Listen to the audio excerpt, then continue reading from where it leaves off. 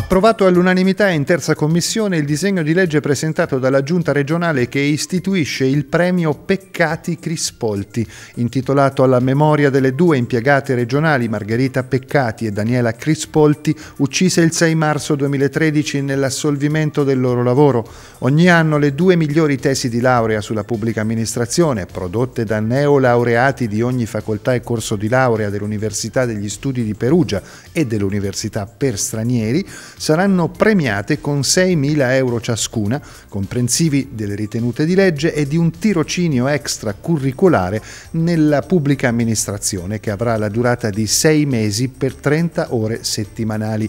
L'amministrazione regionale intende così ricordare le qualità professionali, l'impegno e la serietà delle due esemplari lavoratrici e al contempo evidenziare il valore del lavoro pubblico.